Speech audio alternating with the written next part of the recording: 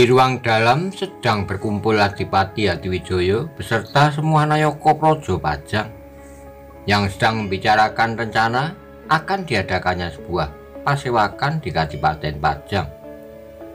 Kakang Pemanahan, bagaimana persiapan mengenai acara pasewakan nanti? Tanya Adipati Hadiwijoyo.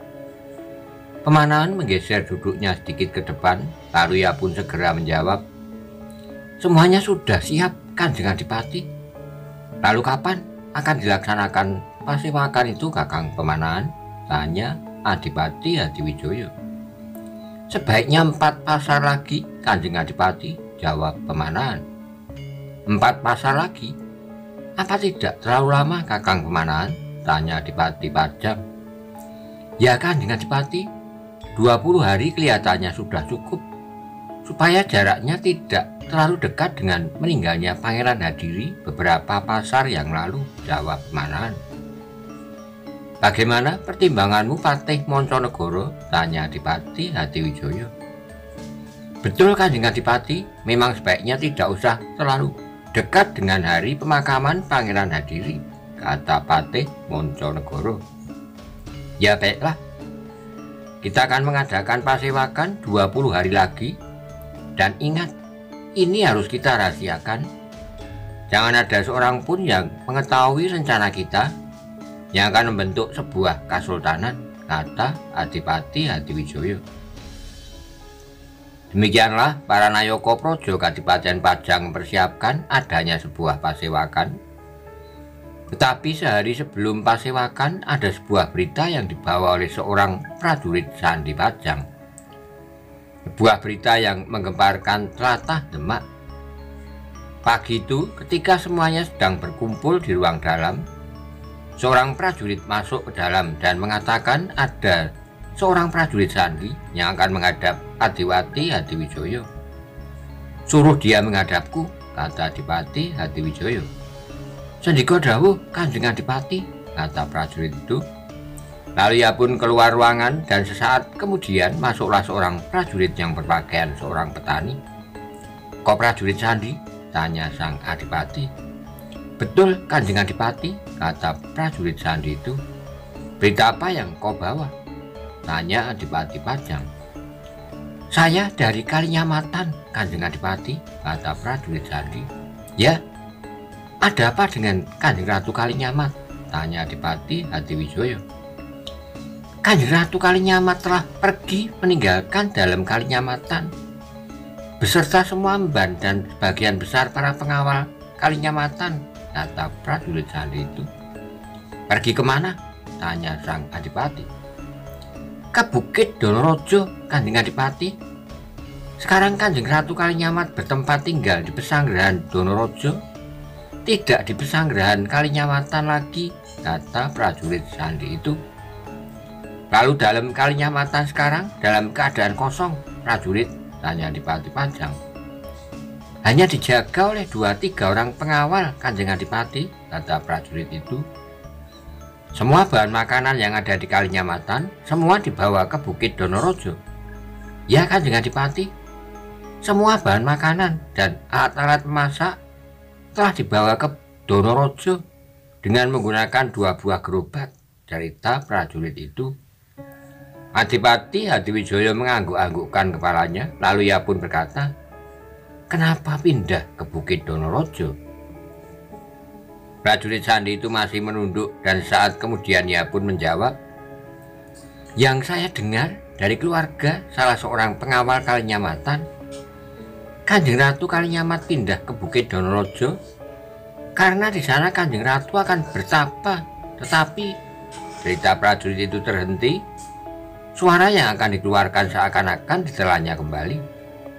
Semua orang mandang kepada prajurit Sandi lalu Adipati Hadiwijoyo berkata, Tetapi kenapa? Kanjeng Adipati, di Bukit Donorojo, Kanjeng Ratu Kalinyamat memang bertapa. Tetapi cara bertapa tidak seperti umumnya orang bertapa, kata prajurit Sandi itu. Bagaimana caranya bertapa? Tanya Adipati Pajang. Prajurit itu menghela napas panjang lalu ia pun meneruskan ceritanya. Kanjeng Ratu Kalinyamat bertapa telanjang di dalam sebuah gubah atau kerobong. Hanya rambutnya saja yang menutupi tubuhnya, Kanjeng Adipati. Semua orang terkejut mendengar cerita prajurit Sandi tentang keadaan Kanjeng Ratu Kalinyamat yang sedang bertapa di Bukit Donorojo.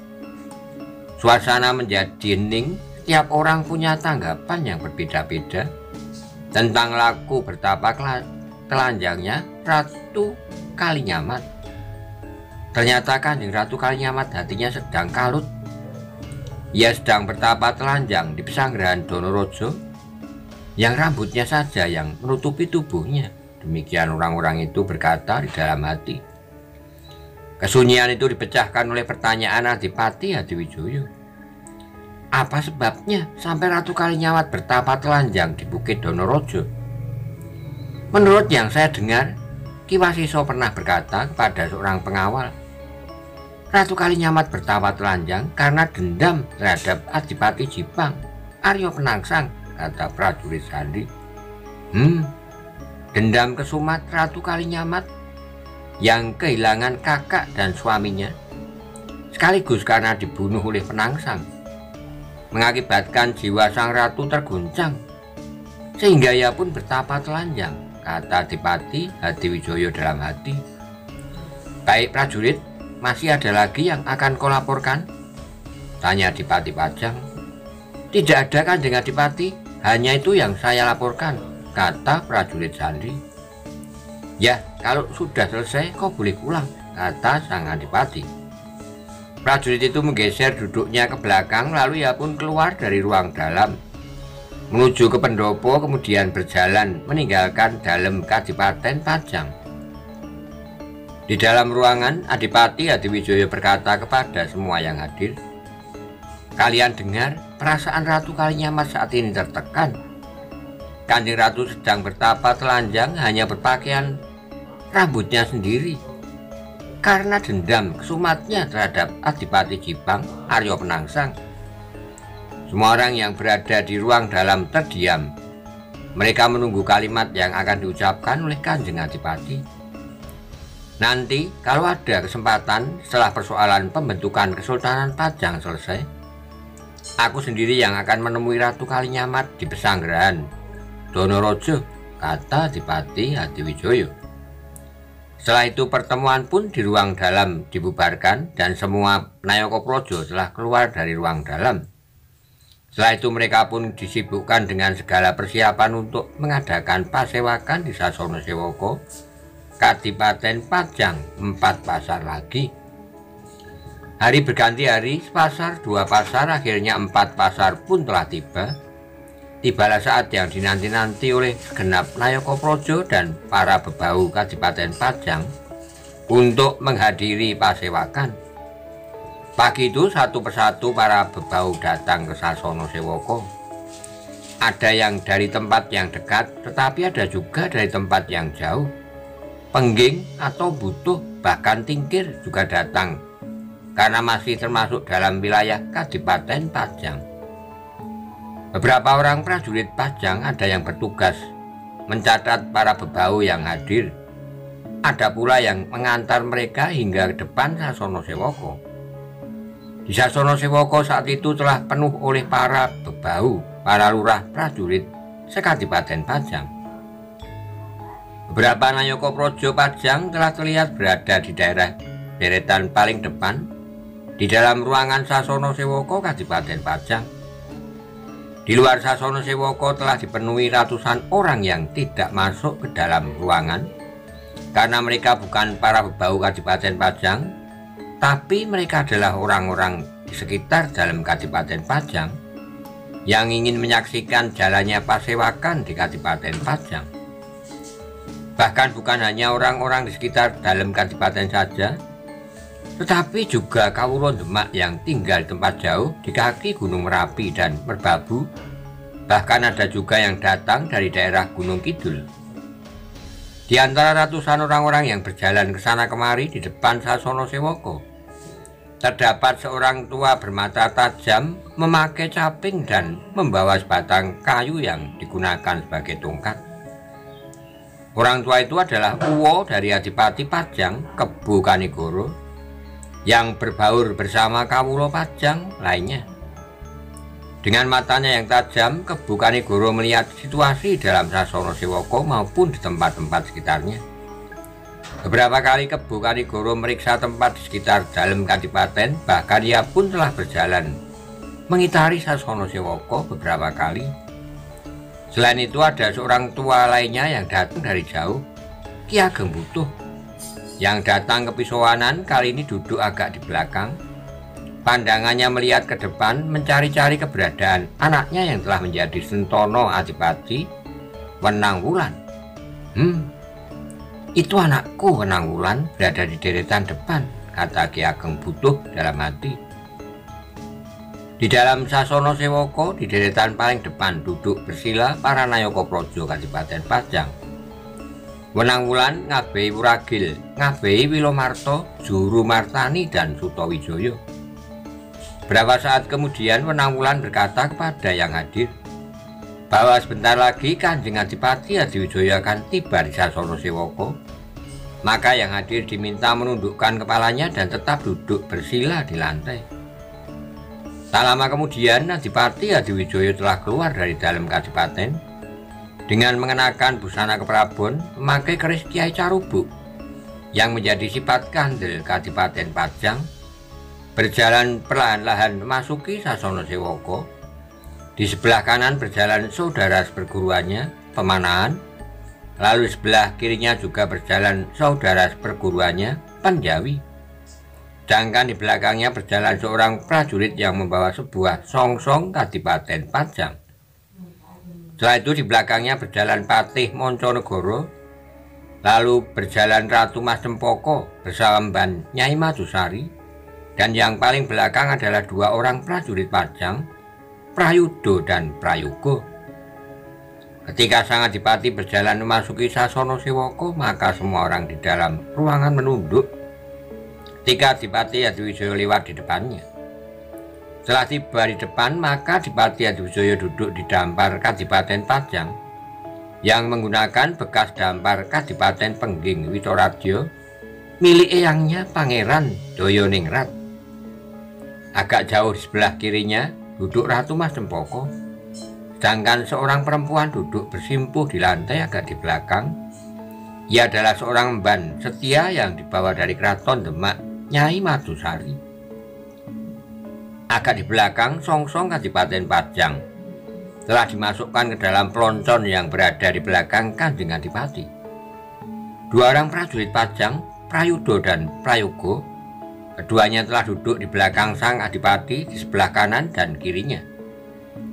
Setelah Adipati Adiwijoyo duduk di dampar Kadipaten, Wenang Wulan mengatakan pasewakan akan segera dimulai dan semua yang hadir supaya mendengarkan titah dari Kanjeng Adipati Hadiwijoyo. Jika sang Adipati telah siap untuk berbicara, tiba-tiba ada sesuatu hal yang membuat semua orang yang hadir di dalam Sasoro Siwoko menjadi terkejut. Dari luar setelah mengucap salam, seorang telah berjalan masuki Sasoro Siwoko. Seorang laki-laki bertubuh agak tinggi berpakaian berwarna wulung maka ikat kepala wulung membawa sebuah tongkat cis berjalan menuju ke tempat duduk Adipati Hadiwijoyo. Beberapa orang telah menjawab salamnya dan orang itu pun terus berjalan maju ke depan. Adipati Hadiwijoyo terkejut ketika mengetahui seseorang telah menerobos masuk di Sasono Sewoko. Tapi senyum sang Adipati segera mengembang ketika mengetahui siapa yang sebenarnya berpakaian serba wulung dan membawa tongkatis itu. Dengan cepat Adipati Adiwijoyo turun dari dampar dento lalu ia berjalan menyongsong orang yang berpakaian serba wulung. Ketika sang Adipati telah berada di depan orang yang membawa tongkatis itu, maka sang Adipati pun segera mencium tangannya. Selamat datang di Pajang, Kanjeng Sunan Kalijogo, kata Adipati Pajang. Sunan Kalijogo tersenyum, lalu Kanjeng Sunan dipersilahkan duduk di kursi di sebelah kanan Kanjeng Adipati. Sekali lagi penanggulan mengatakan pasewakan akan segera dimulai dan semua yang hadir supaya mendengarkan titah dari Kanjeng Adipati Hadiwijoyo.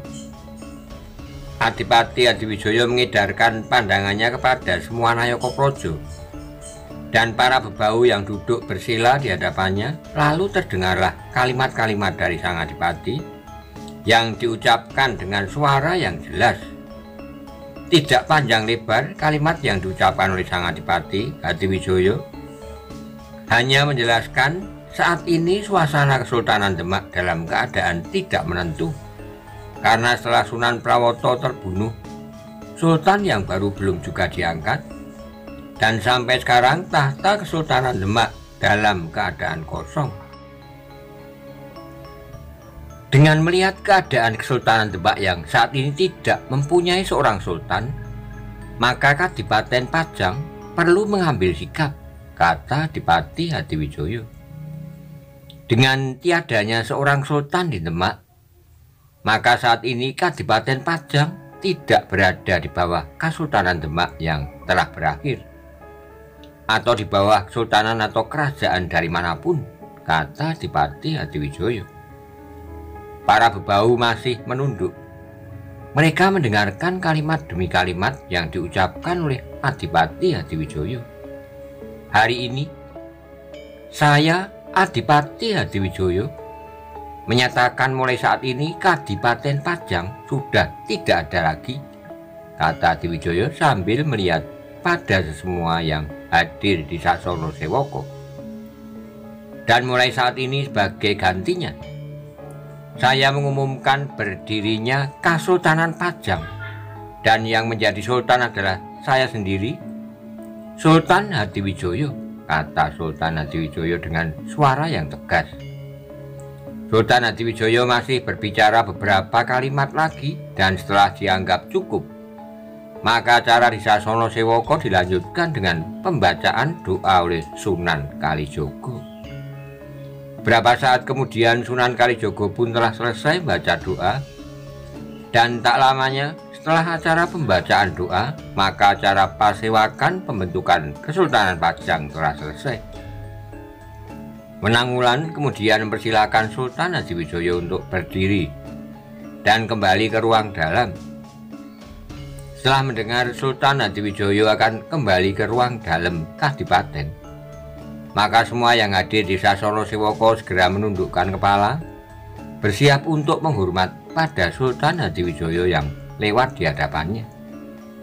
Sultan Hadiwijoyo mempersilahkan Sunan Kalijogo untuk berdiri dan berjalan menuju ruang dalam.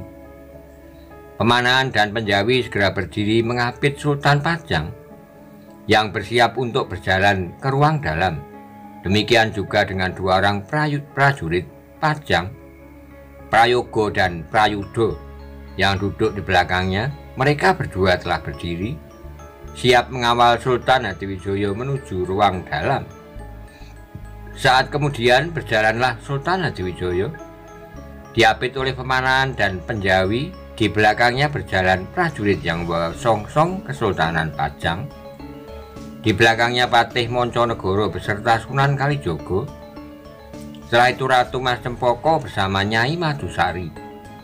Paling belakang adalah dua orang prajurit Pajang, Prayogo dan Prayudo. Demikianlah pasiwakan pembentukan Kesultanan Pajang telah selesai dilaksanakan. Semua acara telah berlangsung lancar. Setelah rombongan Sultan Hadiwijoyo telah kembali ke ruang dalam, pasiwakan pun selesai dan telah dibubarkan. Beberapa puluh orang sudah pulang meninggalkan Sasono Sewoko, termasuk juga seorang tua yang memakai caping dan bawa tongkat berjalan ke arah hutan di sebelah barat bersama puluhan orang lainnya. Orang itu Kebu Kanigoro merasa lega. Pasewakan pembentukan Kesultanan Pajang berjalan lancar dan telah selesai dilaksanakan. Kanjeng Sunan Kalijogo telah bersedia datang dalam acara pembentukan Kesultanan Pajang. Mudah-mudahan semuanya bisa lancar, kata Kebu Kanigoro di dalam hatinya. Tugasku sekarang tinggal ke Kadipaten Jipang memberitahukan hasil pasewakan ke Aryo Penangsang gumam Kebu Kanigoro. Kebu Kanigoro pun melangkahkan kakinya dengan cepat kembali ke Pengging. Di depan Sasono Sewoko Ki Ageng Butuh pun telah bertemu dengan anaknya, Wenang Wulan, Tapi Ki Ageng Butuh hanya sebentar berada di Pajang setelah rasa kangen pada anaknya terobati. Maka Ki Ageng Butuh pun berjalan pulang ke Butuh diantar oleh Wenang Mulan sampai di tepi hutan. Tepat dugaanku, sekarang Pajang telah menjadi sebuah kesultanan. Mudah-mudahan nanti Wenang Wulan bisa diangkat menjadi seorang pangeran, kata Ki Ageng Butuh sambil tersenyum. Di ruang dalam Kadipaten Pajang yang sekarang telah menjadi keraton Pajang, Sunan Kalijogo hanya beristirahat sebentar. Setelah itu Kanjeng Sunan pun meninggalkan keraton Pajang berjalan cepat menuju ke arah utara. Demikianlah acara pasewakan pembentukan keraton Pajang telah selesai. Dan malam itu Sultan Hadiwijoyo telah membuat beberapa tulisan dari daun lontar yang akan diberikan kepada beberapa orang pemimpin di beberapa daerah Pemberitahuan tentang berdirinya Kesultanan Pajang akan dilakukan besok pagi dan tugas itu akan dilaksanakan oleh para prajurit Pajang. Kecuali yang akan menuju Jipang akan dilakukan oleh Kuonya Kebu Kanigoro. Keesokan harinya di ruang dalam Sultan Hadiwijoyo di hadapan semua Nayoko Projo Kesultanan Pajang beserta belasan prajurit Pajang yang akan mengantarkan surat dari daun lontar sebagai pemberitahuan tentang berdirinya Kesultanan Pajang. Kalian para prajurit Pajang, kata Sultan Hadiwijoyo. Dawuh dalam kanjeng Sultan, jawab beberapa orang prajurit. Kalian sebagai utusan dari Sultan Hadiwijoyo, tugas kalian hanya menyampaikan surat pemberitahuan saja, kata Sultan Hadiwijoyo. Kalian akan diutus ke Donorojo, Pati, Kudus, Demak, Asemarang, Jeporo, Lasem, Banyu Biru, Suropadan, Bagelen, Tegalarang, Selo, Tarup, Jipang, Gunung Kidul, Tuban, dan beberapa daerah lainnya, kata Sultan Hadiwijoyo selanjutnya. Prajurit yang akan menuju Demak nanti, kau diberikan surat pemberitahuan ini kepada Kipatih Wonosalam, kata Sultan Hadiwijoyo. Sendiko dawuh Kanjeng Sultan, kata prajurit yang akan pergi ke Demak. Beberapa saat kemudian Sultan Hadiwijoyo memberikan kepada pemanahan belasan daun lontar yang telah ditulis mengenai pembentukan Kesultanan Pajang dan setiap surat sudah dimasukkan di dalam sebuah bambu kecil yang dipotong pendek. Pemanahan pun segera membagikan bambu yang berisi surat itu kepada para prajurit yang berada di ruang dalam Kesultanan Pajang. Setelah itu Sultan Hadiwijoyo masih memberikan arahan kepada para prajurit dan akhirnya Kanjeng Sultan berkata, Kalian berhati-hatilah di jalan. Sendiko dawuh Kanjeng Sultan, kata para prajurit itu. Setelah semuanya selesai, maka para prajurit semuanya menyembah pada Sultan Hadiwijoyo. Lalu mereka mundur dan satu persatu keluar dari ruang dalam. Setelah semua prajurit keluar dari ruang dalam, maka Sultan Hadiwijoyo lalu berkata, Wenang Wulan, dawuh dalam kanjeng Sultan, kata Wenang Wulan. Pergilah kau ke Pengging sekarang, lalu kau berikan bungkusan ini kepada Siwo Kebukanigoro, kata Sultan Pajang, sambil memberikan sebuah bungkusan kepada Wenang Wulan. Wenang Wulan kemudian bergeser maju, lalu ia pun menerima bungkusan dari kanjeng Sultan kalau Siwo Kebukanigoro sedang tidak berada di tempat, kau dapat minta tolong kepada Wopurwo, pembantu yang telah berada di dalam pengging, ia mengabdi. Sudah empat windu lebih sejak ayah anda masih ada, kata Sultan Pajang. Hampa berangkat sekarang, Kanjeng Sultan, kata Wenang Wulan. Lalu ia pun segera menyembah dan mundur keluar dari ruang dalam. Mudah-mudahan pakaian itu ukurannya cukup kalau dipakai oleh Siwo Kebukanigoro, kata Sultan Hadiwijoyo. Di halaman belakang, Wenang Wulan menyiapkan seekor kuda. Dan saat kemudian ia sudah melarikan kudanya di jalan yang menuju ke Pengging. Kudanya terus dilarikan di pagi hari yang cerah, di jalan yang agak menanjak ke arah Pengging. Dari jauh terlihat berdiri megah Gunung Merapi yang sedang dalam keadaan tenang sedangkan di sebelahnya nampak Gunung Merbabu.